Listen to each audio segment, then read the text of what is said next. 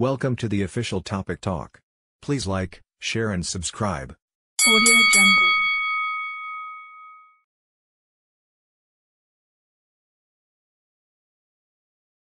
reaction to the Timmy Joyce interview. Now, you start off, mate. You you have your little say first. Um, it's a massive injustice, and once again, it proves the divide um, between the travelling community, you know, and the not travelling community people. You know, I feel it's a massive injustice. Um, for, for numerous reasons. Number one, I would say they're the ones that came out of their home with weapons with the intent to cause Joe harm. Now, Joe's come out, and you've got to have two sides. You've got to have the attacking side and defending side. And they quite clearly had the intent to cause harm to Joe because each of them had weapons and the fact that they left their home to go to Joe's home, that's the intent side of the attack. Now, Joe was only defending himself. The other factor, I believe, because he's got a history um, of, of boxing and because he's a member of the travelling community, they've taken that into account when really, realistically, and lawfully, they should have just basically looked at the facts of the incident and not who he is. That that's how it works over here. I understand. You know, they don't look at what you've done in the past or who you are.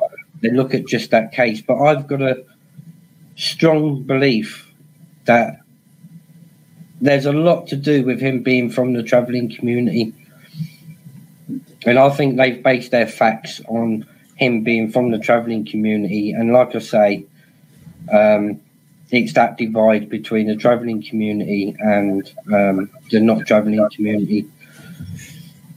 I think, and that's correct, Steve. You're right. Your your your assessment of that is correct. And listen, big up to Timmy for coming on, gentleman for coming on. So if you're watching this, Timmy, uh, gentleman, thank you for having your say. And all anybody that wants to have their say in this here, um, that wants to have a legitimate say and give their opinion on this here uh, can come on and have and and come on and, and have their opinion. But what I'm going to give you my opinion, right? This is my official opinion on the matter, right? I'll clear my throat for this one. I think that it's not just about to do it's not just about the travelling community. The north of Ireland has a class system, right? And unfortunately, the class system when it comes to the justice system clashes. So you'll have a lot of people. What the majority of the time, how many how many people are going to court? It's people like me. It's people like you, right? And who are judging us? Who who is the person that's ruling over us? The judge. Well, these people are the higher class, and it's like the pyramid. Do You think I have that pyramid behind me because I'm a member of the Illuminati, which I am, guys. I'm a member of the Illuminati. right? right? But do you think I, what do you think that pyramid represents? The all-seeing eye. At the top of that pyramid, I'm not there. I'm at the bottom of that pyramid. Millionaires and billionaires are at the middle of that pyramid. But power is a, is a crazy thing and it goes to people's heads. The power to, I'm going to do that to you and there's nothing that you can do about it. The, money can buy you so much power but essentially, what you're dealing with here is the north of Ireland, a class system once again that's looking down below on the people at the bottom.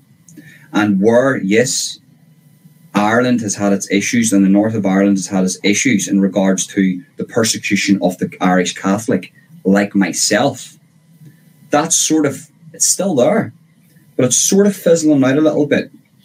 And there's a lot more opportunities, job opportunities, schooling opportunities for people like myself. But for the people like the traveling community, they some of them are self-educated, some of them stay away from the system, some of them make their own money away from all the all the governments.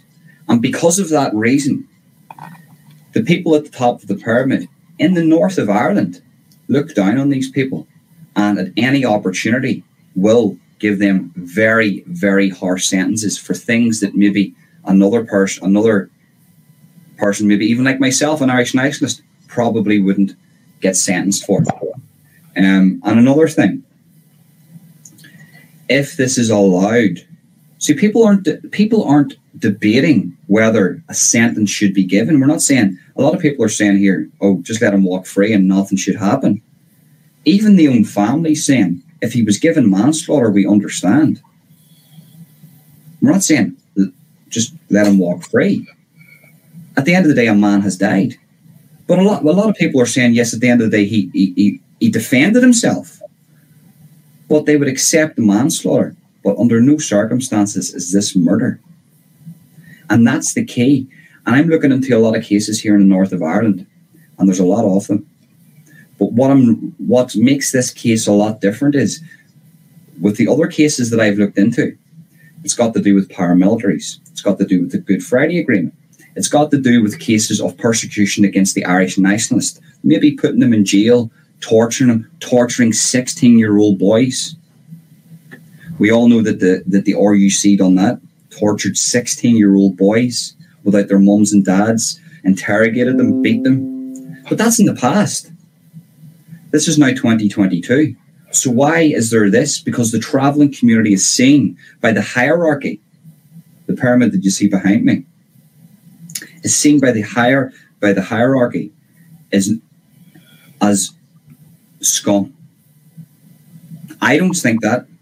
I treat everybody with the same level of respect.